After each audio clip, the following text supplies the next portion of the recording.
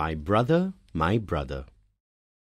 Sher Singh's little brother lay in the hut with a pain in his stomach that was getting worse.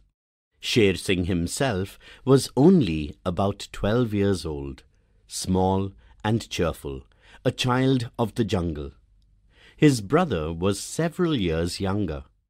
I will wring out rags in boiling water and lay them on his stomach, said his mother. She did not weep. She had lived through everything over and over again. The steaming rags did not help. After a while, Sher Singh's mother, he must be carried to the hospital at Kalaghat. Then Sher Singh thought that his brother was dying. All jungle people somehow think that the hospital is the last resort of the doomed. I will run for my father, he cried. It may be days before you find him. Sher Singh's father was away in the jungle with a photographic expedition. All the men of Laldwani village too were with the expedition as beaters. Sher Singh looked at his younger brother and saw that he was in great pain. Kalaghat was at least fifty miles away, but Sher Singh hoped that if he could get through the jungle and cross the two rivers in between, he might get a lift in a bullock cart, or perhaps even a broken down truck for the last part of his journey. Sher Singh walked alone, carrying his brother on his back. He walked through the jungle. Night fell. The sky became purple black. It blazed with stars. Sher Singh had good eyes. He could still see. Presently, the moon rose. The sight of bear tracks in the dust.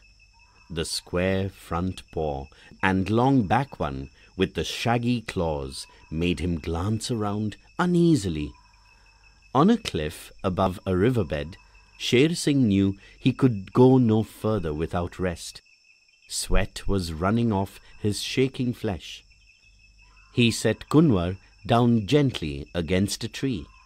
It was then that he heard the jostle and squeal of elephants.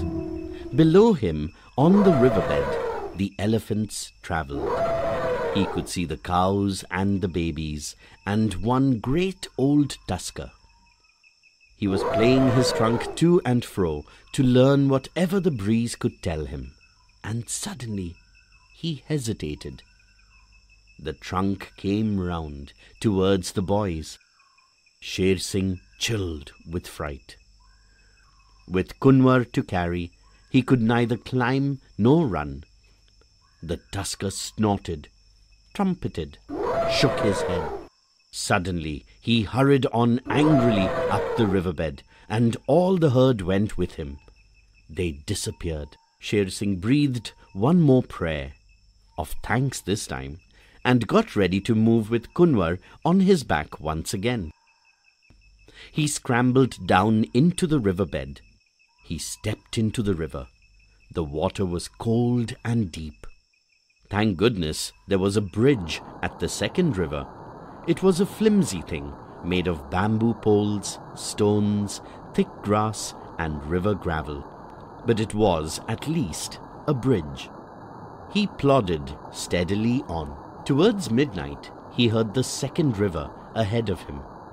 He heard it from far away, a steady roar of flood.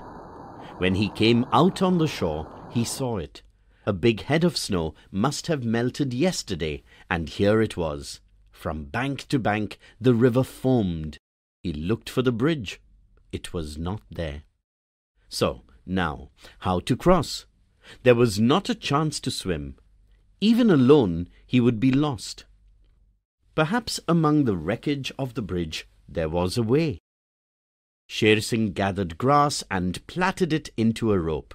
He tied the rope round his brother and himself so they would keep together. He entered the water just above the bridge. It was so cold that he could hardly keep his hold.